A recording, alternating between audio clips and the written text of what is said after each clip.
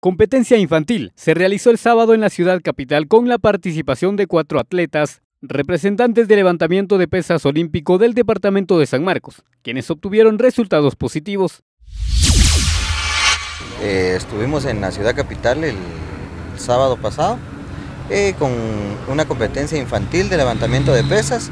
Eh, este, los resultados fueron una medalla de bronce con una niña.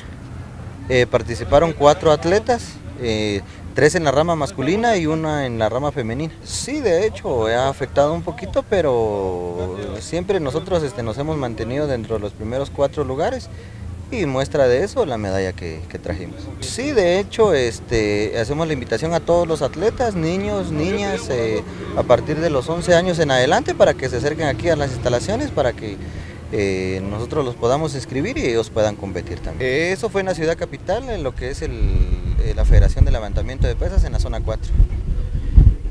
Importante que se den buenos resultados a pesar de las condiciones en que se vive este Sí, de hecho, este, sí, este, ha afectado un poco la mala información de levantamiento de pesas con relación a los niños, pero nosotros tenemos niños ahí y son este, para ellos es un entrenamiento especial, digamos. La atleta Victoria Hernández estuvo dentro de los primeros lugares, a pesar que su entrenamiento no fue el adecuado debido al cambio de instalaciones.